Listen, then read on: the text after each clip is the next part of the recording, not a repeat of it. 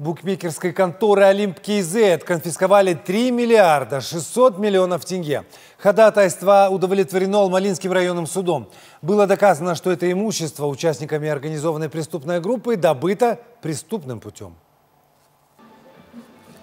16 февраля ходатайство прокуратура Алматы о конфискации имущества – удовлетворено ходатайство прокурора Алматы о конфискации имущества до вынесения приговора в отношении объявленных в международный розыск руководителей ТО «Букмекерская контора Олимп КЗ», которые организовали преступную схему по незаконному игорному бизнесу, выводу денежных средств и уклонению от уплаты налогов в бюджет.